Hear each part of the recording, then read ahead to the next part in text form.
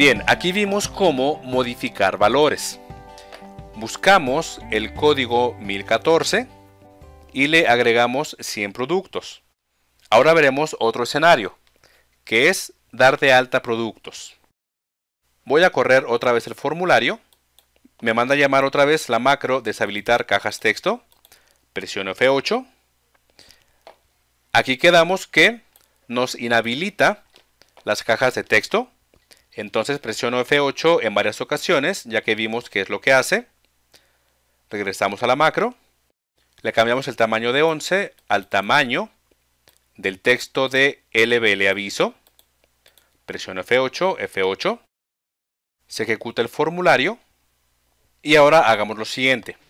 Voy a poner el código 1015. Ese código no existe. Buscar. Nos manda aquí a la macro del botón buscar código. Presiono F8. Quedamos que si sucede un error, nos vamos a manejador errores. Presiono F8. Aquí quedamos que si el código está vacío, se muestra e ingrese un código. Presiono F8. Aquí a la variable rango le estamos definiendo la región actual de los valores de la hoja inventario, es decir, de A1 hasta D15. Ese va a ser el rango. Presiono F8. Aquí a fila rango quedamos que guardamos el conteo de filas del rango activo. Presiono F8 y vemos que es 15. Aquí a columna búsqueda le estamos diciendo que sea igual a el rango A2 hasta A15, ya que fila rango es 15. Entonces la columna de búsqueda va a ser de A2 hasta A15. Presiono F8. Aquí viene lo interesante. Aquí con el método find estamos buscando dentro de columna búsqueda el valor de 1015, el que tenemos en txt código presiono F8. Y aquí, en lugar de irse a esta macro, se brincó directamente a manejador de errores, ya que aquí le dijimos que si pasaba un error, se brincara a manejador errores. ¿Y cuál fue el error? De que no se encontró el valor. El método find nos mandó un error. Aquí le estamos diciendo, si el número de error del objeto er es igual a 91, entonces hacemos esto. 91 es el error que nos manda el método find al no encontrar ningún valor. Es por eso que aquí le estamos diciendo, si es igual a 91, haga esto. Presiono F8.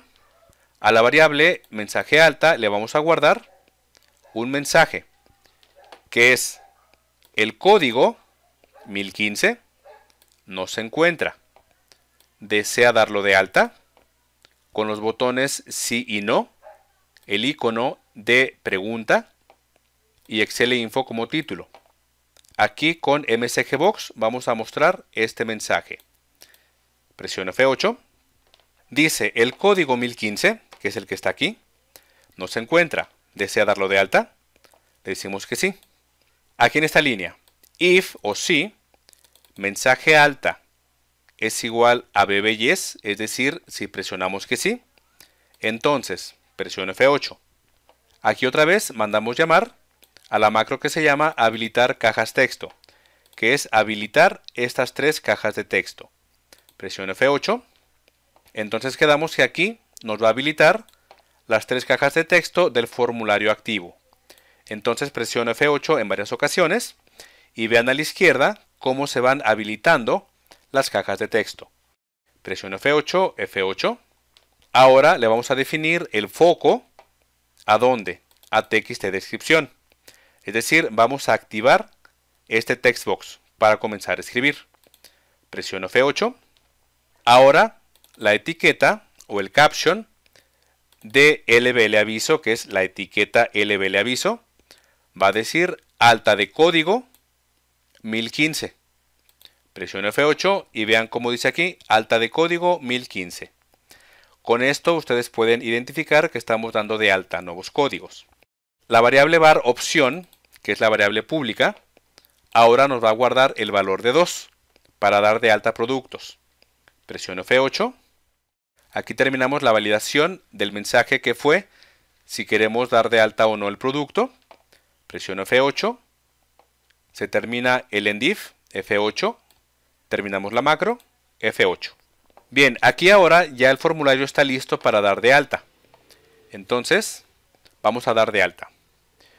En descripción, como fue el código 1015, le ponemos producto 1015. Precio unitario le vamos a poner 101 y cantidad le vamos a decir 50 productos. Doy clic en aceptar y nos vamos a la macro. Presiono F8. Si var opción es igual a 1, es decir, modificar, ejecuta esta macro. Presiono F8. Como no fue 1, ahora nos pregunta. Si var opción es igual a 2, entonces hacemos esto. Presiono F8. Aquí otra vez la variable rango nos va a guardar la región actual de la hoja inventario a partir de la celda A1, que el rango actual va a ser desde A1 hasta D15. Presiono F8.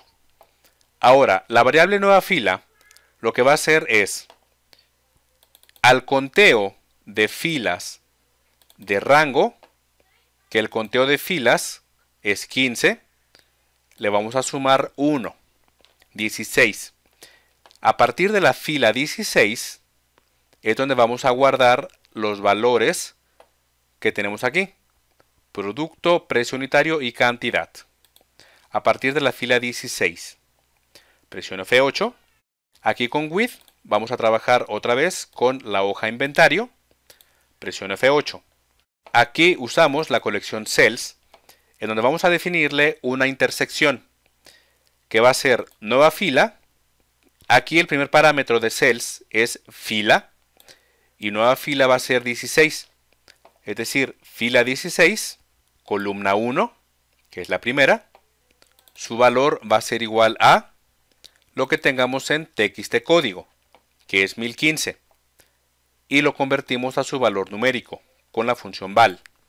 Presiono F8 y vemos que se capturó el producto 1015. Aquí, en la fila 16, columna 2, vamos a guardar la descripción producto 1015. Presiono F8 y vemos que se da de alta.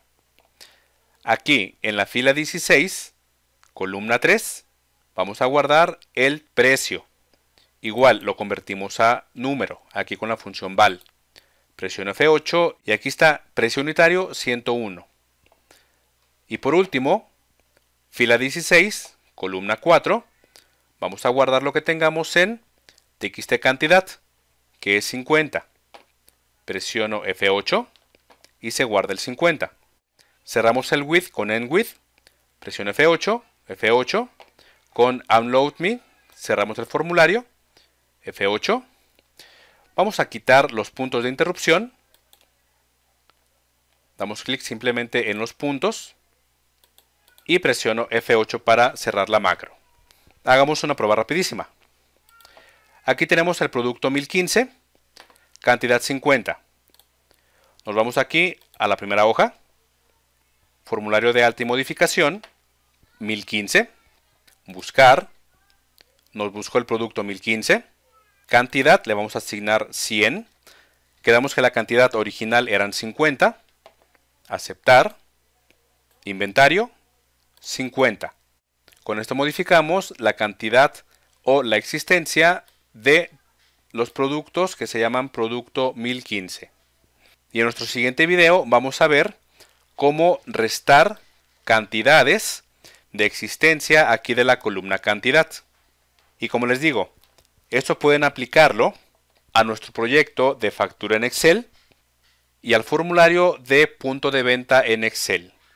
Si llegaste hasta este punto, me alegra, ya que sé que estás dispuesto a aprender más de Excel y macros.